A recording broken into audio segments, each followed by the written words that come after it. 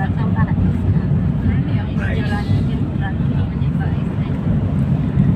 guys, we're now in Bais City.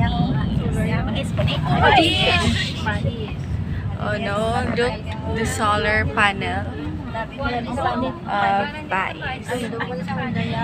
So it's look, it looks like an ocean. Look guys. Wow, nice here. It's very, very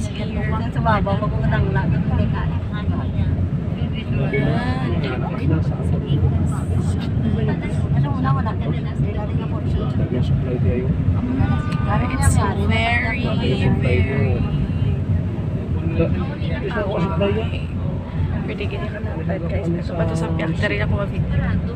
Sila kayo gano'n ko ano sigo naman. Consume git sila electricity guys. Yung Hindi mo ba din ako reklamo? Daw mo lang yung naglinaw-linaw.